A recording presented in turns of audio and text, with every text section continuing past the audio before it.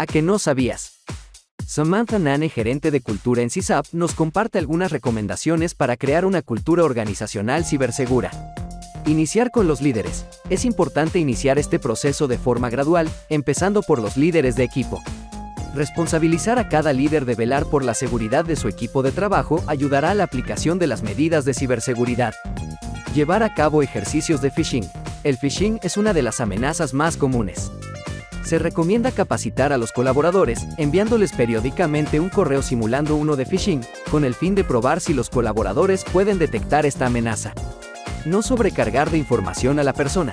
El uso de mensajes concretos para capacitar a los colaboradores en medidas de ciberseguridad es esencial para su máxima comprensión. Mientras más grande la información que se presente, menor será la atención y retención de la persona. Utilizar casos de la vida real como ejemplo.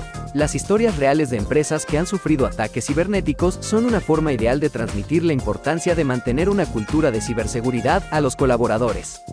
Con esto, se dará a comprender las consecuencias que puede ocasionar caer en un engaño. Motivar por medio de un sistema de recompensa. Se recomienda la aplicación de un sistema de recompensa, con el fin de motivar a los colaboradores a seguir desarrollando buenas prácticas de ciberseguridad. Esto servirá como motivación para los colaboradores. Al capacitar a nuestros colaboradores en el uso seguro del Internet, no solo los ayudamos a identificar de mejor forma cualquier amenaza, sino que disminuimos el riesgo de sufrir un ataque cibernético dentro de la organización. ¿A que no sabías? Visita www.elpaisdelosjovenes.com.